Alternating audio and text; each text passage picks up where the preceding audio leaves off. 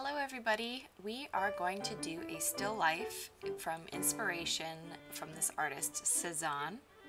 And he did a little bit of a mix of realism and he also started this whole new trend where he would try to almost cartoonify realistic subject matter. So like these apples, all the fruit, the plates, he almost made it kind of like a cartoon by putting these dark lines and stuff. And we're going to kind of copy his style. So what I want you guys to do is get your supplies together. You might want to cover a surface to protect it. You need um, your pastels, watercolors. You want a light, a light source like last time. Perhaps get some Q-tips. It might have come, you might already have Q-tips. You're going to want your watercolor paper. You're going to want a pencil and eraser. Um, you're also going to want your paintbrush and your sketchbook and three or four objects to use for your still life and you just want some simple shapes. So I picked toilet paper, an apple, and a box. It actually has tea in it. Once you have all of your objects set up and your light source, I want you guys to do a quick sketch of your shapes of your objects and kind of practice how to draw them first. You can do a few tries. Make sure you include your shadows as well. When you're done practicing your composition and you've figured it out, you can get your watercolor paper. Um, I tape down my piece of paper because sometimes when you do watercolors it curls up so I actually recommend looping the tape and taping it from the back because I discovered that it rips the paper when you try to pull it off. So here I am um, drawing out my final sketch, my final plan for my composition on the watercolor paper. I chose two shapes that I know because of last week.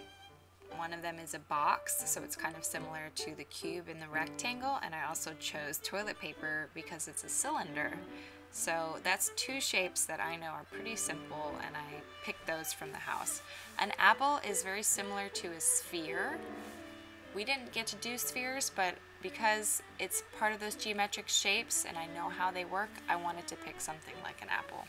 Plus I could also copy Cezanne's pictures. He has a lot of apple pictures. When you're done outlining your objects and the shadows, you can start to fill in with your pastels. Now I'm doing a green apple and one of Cezanne's pictures has a green apple. So I'm looking at it and I'm trying to decide what colors to use. When Cezanne was working, he was influenced by Impressionism, and the Impressionists didn't like to use black. And so when I'm making shadows with my apples, I can't use black. I'm only using colors like blue and orange and dark green and then using white for highlights. I didn't use any black. So if you guys are doing a, a, fruit, look at Cezanne's pictures. Does he have different kinds of colors in his shadows? Think of a creative color that you can use to create a shadow. A red apple probably has purple in the shadows, or blue. Okay, so I finished my apple pretty much, and I put a blue shadow underneath it. Um, I didn't want to use black again because we're not really supposed to use black until the very end. I worked on my toilet paper next. I created um, a blue outline and I added blue to create shadows.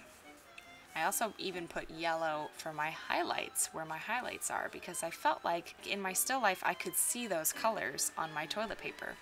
Once I put those colors in, I used white to blend it all together and I really, really filled it in with white and then finished it off with a blue shadow. You guys don't have to fill in everything really, really thick with the pastels because those little gaps are going to get filled in with some watercolors later on. The pastels are going to act as a resist, so anything that doesn't have pastel on it will absorb watercolor. When you try to paint over the pastels with your watercolor, it's not going to absorb because oil doesn't mix with water. So the oil resists the watercolor. So you're going to see that later when we do it. So I filled in my box and I um, use different colors. I used a little bit of brown and a little bit of peach and a little bit of blue in the shadow. Um, and now to finish this off, we're going to do a very cool Cezanne trademark, which is using black to outline some of your shapes. He doesn't outline everything, he just outlines little shadowy areas to make things stand out. So I only outlined some of my apple and some of my toilet paper and some of my box. So if you look around and peek and see where I outlined, it made it really stand out, especially from our shadows. So stare at some of those Cezanne paintings for a while, look for his black outlines, and see where you can put this into your picture. Before I took out my watercolors, I added some orange to the surface of my picture to try to make the table kind of have some texture. Um, and you guys are free to do the same. All right, so now I'm going to take out my watercolors. If you have a watercolor tray, all you have to do is wet the colors that you're about to use with a little water. If you have the watercolors that came in little containers, you need to add water to that container or take some of that out onto a paper plate and use the paper plate as a palette. I have a palette. I'm not sure if any of you guys have a palette. I put my watercolor from the tube onto my palette. The watercolors in those little cups, those are from the tube. They are totally concentrated. You only need a little, little dab of it mixed with a lot of water. I barely dab into my color and then put it off to the side with a lot of water, as you can see, and it will spread all over. It's very, very concentrated. So use lots of water. Don't think that you need to scoop up that paint and put it on the canvas because that's too much.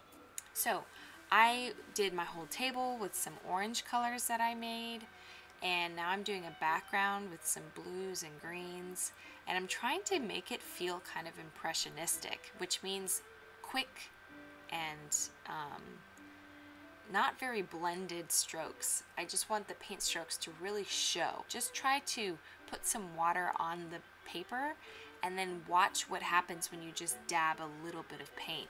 It spreads and it kind of has a life of its own. So have fun with that part. Have fun making the background a lot like a Cezanne painting where you just kind of put little paint strokes and you don't blend it in. You can even add little paint strokes into the table, into the surface. I went crazy. I put blues and greens everywhere. I even took a little bit of reds and put that in into the table. If at some point you have too much water on your picture or you accidentally made a mistake, just take a paper towel and dab at it. It'll come right back up. So I made, I think, a mistake with one of my shadows the paint went on really, really thick, but watercolor's not supposed to be very thick. So I just added a little bit of water to it, dabbed it with a paper towel, and it came right out. When you guys are all finished with your picture, I just want you to wash your brushes really, really good until they're clear. There's no more paint in them. I would use clean water to rinse it, not my cups water.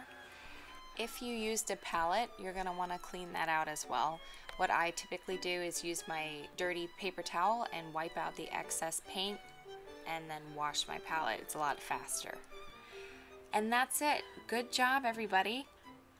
And see you next week.